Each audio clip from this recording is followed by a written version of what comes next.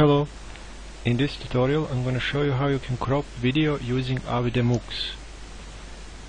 First we're going to open up a video then you need to change this option from the default copy to one of the available codecs.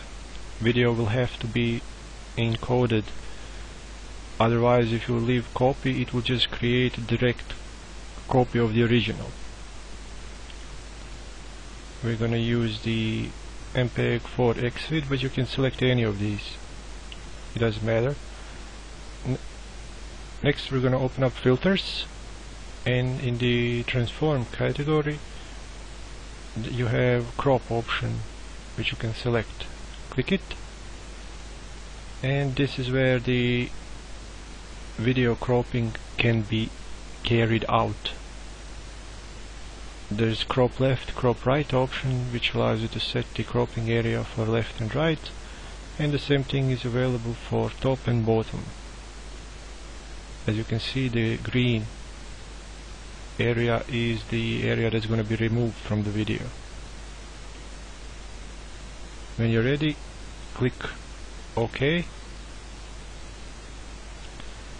and click close. Uh, audio processing can you can leave it to copy leave this setting to copy which will again create a direct copy of the of the audio that you original had. Or if you want to edit it you can again change it to one of the available streams or one of the available encodings and then change it the same way that we did video. We're not going to talk about that right now now that the video has been cropped you just have to select file